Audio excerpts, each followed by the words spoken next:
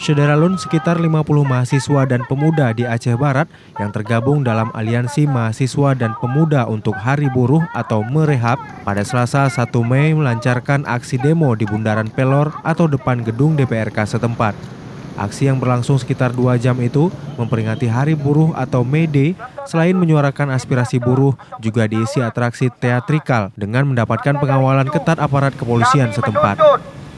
Untuk daerah untuk isu lokal kami mengangkat dan menuntut mendesak pemerintah kabupaten dan Disnaker Aceh Barat segera membentuk mediator buruh dan Hidup pengawas rakyat. perusahaan. Hidup rakyat.